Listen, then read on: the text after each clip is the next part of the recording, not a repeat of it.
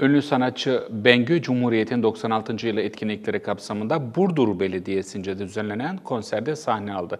Etkinlikte sahneye çıkan belediye başkanı Ali Orkun Ercengiz, sevilen şarkıcıyı Salda Gölü'nde klip çekmeye davet etti. Bengü ise Şubat ayında albüm çıkartacağını belirterek teklifi kabul etti ve seve seve gelirim dedi.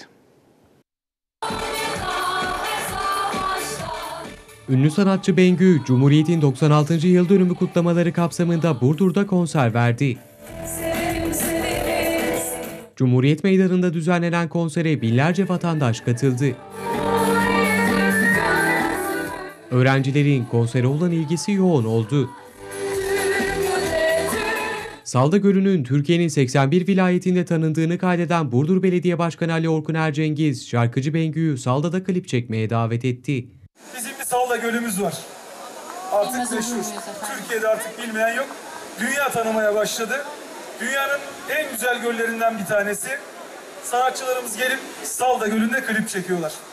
Sizi de en kısa zamanda Salda Gölü'ne klip çekmeye bekliyoruz. Olur mu arkadaşlar? Şubat ayında albüm çıkaracağını belirten Bengü ise klip davetini kabul etti. Başkanım bunu tabii seve seve koşa koşa hem de yani koşa koşa. Önümüzdeki Şubat ayında benim albümüm zaten çıkacak. Ee, söz veriyorum ben gurur duyarım çok da mutlu olurum. Dünyanın bir harikası çünkü orası. Gerçekten öyle. Tabii ki ne demek. Başkan Ercengiz daha sonra Bengü'ye kahve takımı ve çiçek takdim etti.